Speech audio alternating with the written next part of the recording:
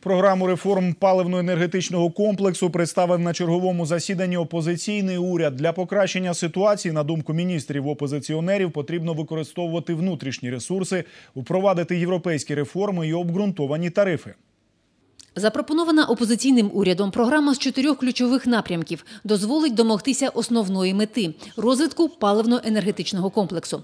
Прем'єр-міністр опозиційного уряду Борис Колєсніков закликав переглянути тарифи на енергоресурси.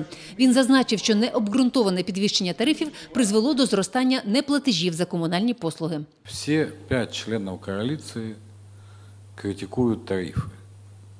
Очевидно, все пять членов коалиции забыли, что это они создали правительство, которое повысило тариф.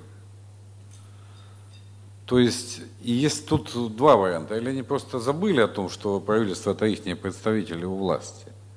Или они готовят себя к оппозиционной деятельности и проводят такую, так сказать, репетицию.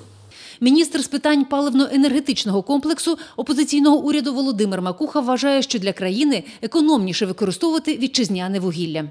Уголь значительных объемов поступает к нам из Российской Федерации, из Южной Африки, из Польши. Цена импортного угля составляет от 1800 до 2100 гривен за тонну, в то время как цена украинского угля 1100 гривен за тонну. И это при том, что украинский э, импортный уголь мы покупаем за валюту, которой у нас катастрофически не хватает, раскручивая при этом инфляцию и стимулируя дальнейшее падение курса гривны.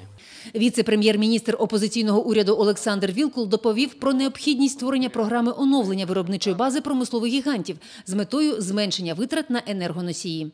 Государственное финансирование внедрения энергосберегающих э, технологий.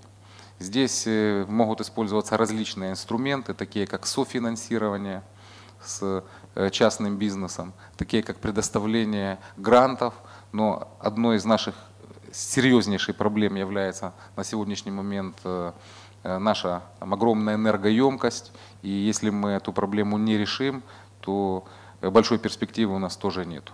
Міністри-опозиціонери доповіли, що відповідні законодавчі ініціативи вже подані до парламенту. Аліна Сосновська, Денис Єлисавенко. Новини 11 каналу.